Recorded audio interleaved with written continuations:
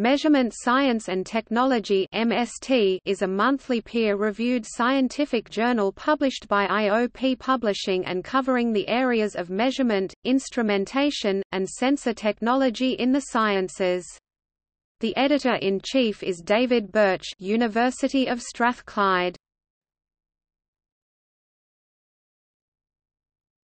Topic: History The journal was established in 1923 as the Journal of Scientific Instruments. The first issue was introduced by J. J. Thomson, then president of the Institute of Physics, who stated that no publication existed at that time in the English language specially devoted to scientific instruments. The idea for the journal was promoted by Richard Glazebrook, the first president, then director, of the National Physical Laboratory, where the journal was initially edited. The need for interdisciplinarity was recognized even then, with the desire to co-opt biologists, engineers, chemists, and instrument makers, as well as physicists, on the Scientific Advisory Committee. The Institute of Physics merged with the Physical Society of London in 1960.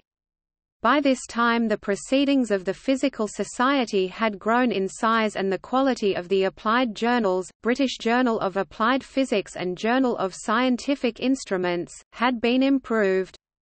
In 1968 these journals were merged to form part of the Journal of Physics series of journals, A2E, the fifth journal in the series being Journal of Physics E, Scientific Instruments.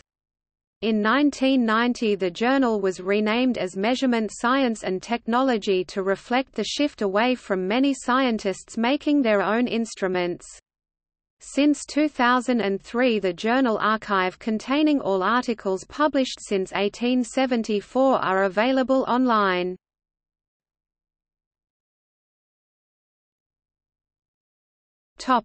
Abstracting and indexing The journal is abstracted and indexed in According to the journal Citation Reports, the journal has a 2014 impact factor of 1.433.